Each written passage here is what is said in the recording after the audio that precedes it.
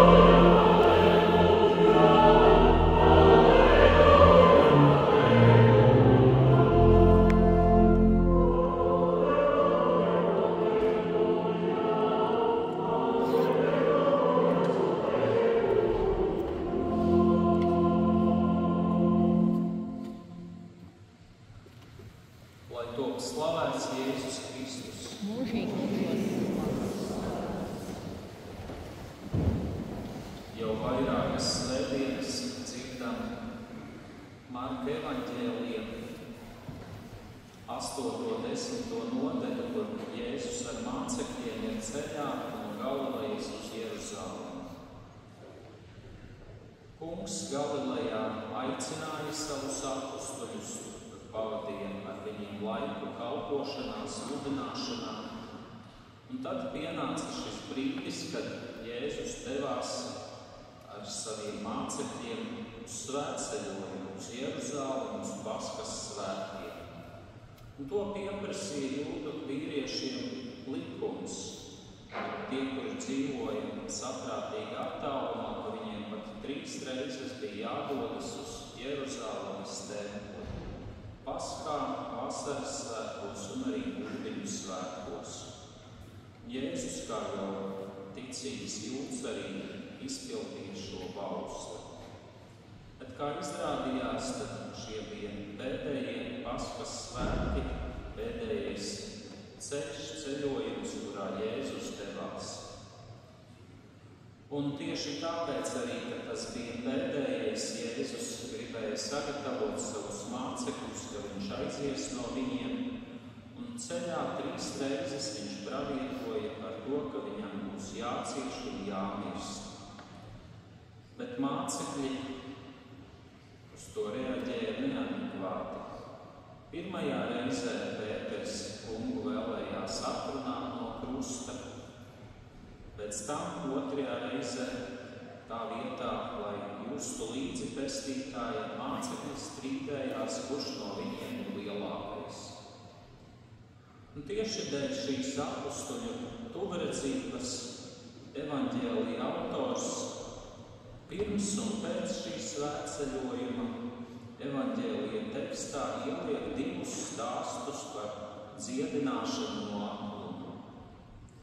Šodien mēs dzirdam šo otru stāstu, kas ir paša ceļa noslēgumā.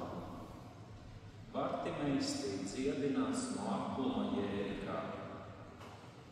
Jērika jau bija pavisam tuvu noslēgumā ceļojuma tikai 25 km no Jeruzalemes, bet šī pilsēta ir ļoti svarīga vēsturiski, geogrāfiski un arī garīgi.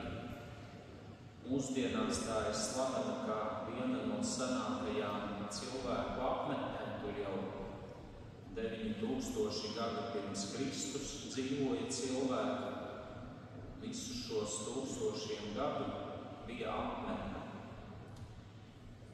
Ja Jeruzalemi uzskatīja par svēto pilsētu, tad Jērika, Jērika ir tika tas gods, jeb negods būt par tādu kā grēka simbolu.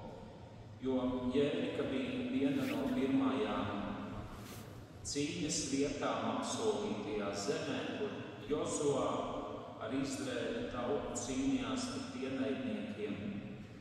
Bet Jērika ir arī geogrāfiski zīmīga vieta, jo viņa atrodas ļoti, ļoti daudzus metrus zem jūras līmeņa, kā izrādās. 250 metrus zem jūras līmeņa. Un savukārt Jeruzāleme, kas ir svētā pilsēta, atrodas kilometru augstāk, 750 metrus virs jūras līmeņa.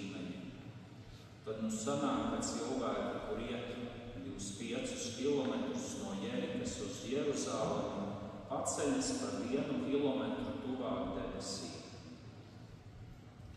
Bet šis ceļš augšu kalnā, tas ir arī simbolisks, to Bībelē interpretē kā pacelšanos no grēka un atgriešanos pie Dieva. Šis Bartimeja aklums, viņa posts un jērika, kurā pie vārtiem viņš ubago, tas tā tad ir posta simbols, kuru cilvēka dzīvē ienes grēks. Daudzi cilvēki arī ir kā Bartimejs jērikā. Viņu dzīvē ir kāds posts, smagums, grēks, ļaunums, atkarība, kas viņus nomāc, pavērcina. Bet cilvēciskajam postam nepieder pētējs vārds, un tā ir šodienas arī labā vēsts.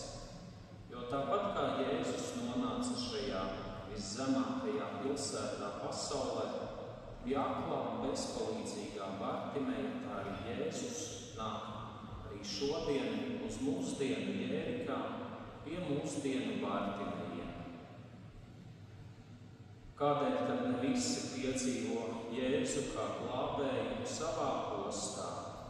Te atbildi var sniegt tālākais, kas notika ar Bartimeju. Pacietējis, ka garām iet Jēzus no Nāceretes, viņu sāka neatlaidīgi saukt, apžēlojies par mani. Pat tad, kad citi viņu aprāja, lai tas apklustu, viņš vēl neatlaidīgāk sauca, lai kungs apžēlojas par viņu. Un Bartimejs ar to mums rāda piemēru un arī apņēmību meklēt Kristu, konkrēti lūgties, neatlaidīgi un arī drosmi iet pie Kristus, neskatoties arī uz citu cilvēku viedokli. Varam arī pārdomāt, vai mēs grūtību brīžos redzam Kristu kā mūsu glābēju, kā mūsu palīgu, vai mums ir apņēmība, drosme iet pie Viņa lūgšanās sakramentos, vai arī vēršoties pie kādiem cilvēkiem, kur Dieva dēļ mums var palīdzēt. Līdz ar to Bartimejs šodien mūs iedrošina jebkurā dzīves situācijā būt drosmīgiem un apņēmīgiem meklēt un sekot. Kāds tad bija šīs satikšanās rezultāts? Jēzus apstājās. Evanģēlijos Jēzus šad un tad apstājas. Tas notiek reizēs, kad īpašā veidā viņš iesaistās kādu cilvēku dzīvēs.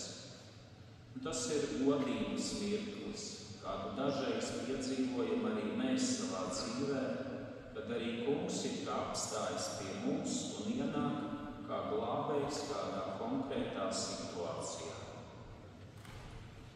Tālāk Jēzus pasauca Bartimēju. Šī pasaukšana tas ir kaut kas, kas attiecas uz mums visiem kristiešiem. Arī mēs esam tikuši Jēzus pasauli. Pēc būtības baznīca tā arī ir Kristus aicināto kopienu, un uz to norāda arī pats vārds baznīca. Grieķu un latīņu valodā baznīca ir eklezija, kas nozīmē sauktie ārā no kaut kurienes. Mēs baznīcai piederīgi esam Kristus aicināti uz īpašu draudzību un tuvību ar kungu.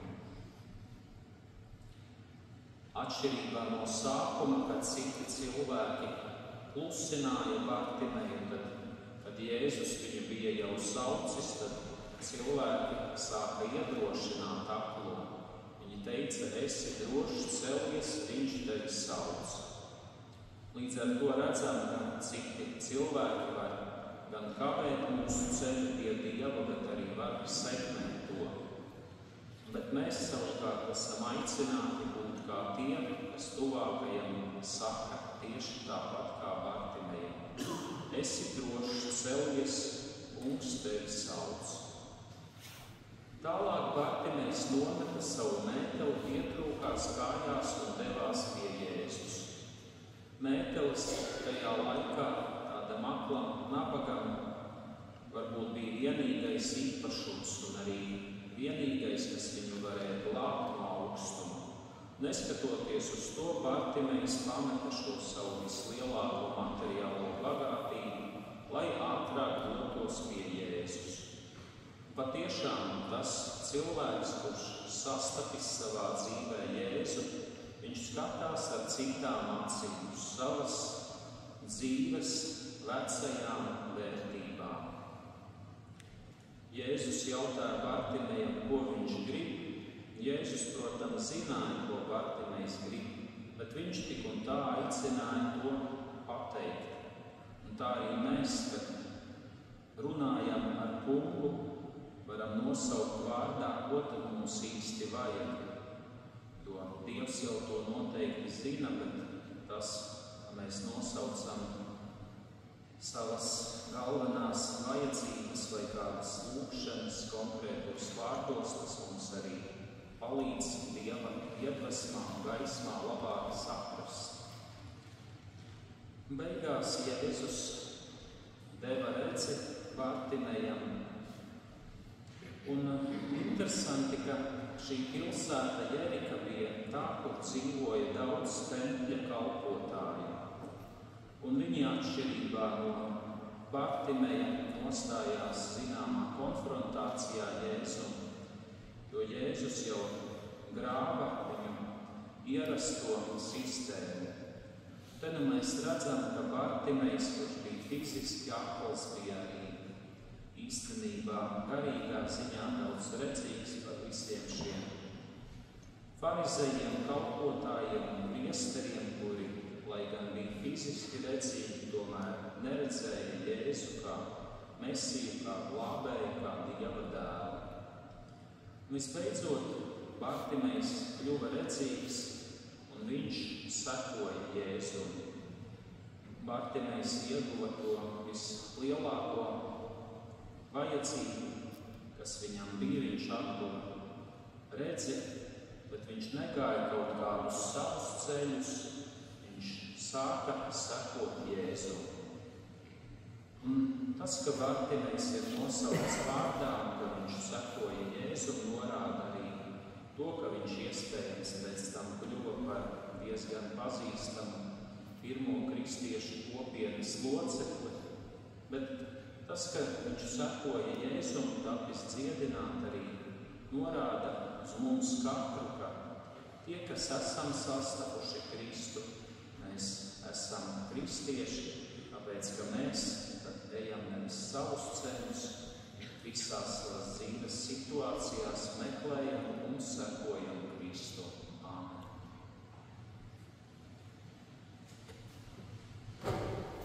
Apliecināsim visi. Es ticu uz